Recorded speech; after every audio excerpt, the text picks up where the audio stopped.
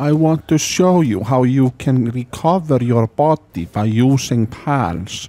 As you see in the video, I'm full health, and then all of a sudden I am dead. What hit me? Did someone catch the number of that truck? Basically, when you respawn, you drop all your items, but you keep your pals, so you can easily ride your happy deer, which I forgot the name of, eh, something like Eikthyrdeer? Eikthyrdeer! You can ride him back to your corpse.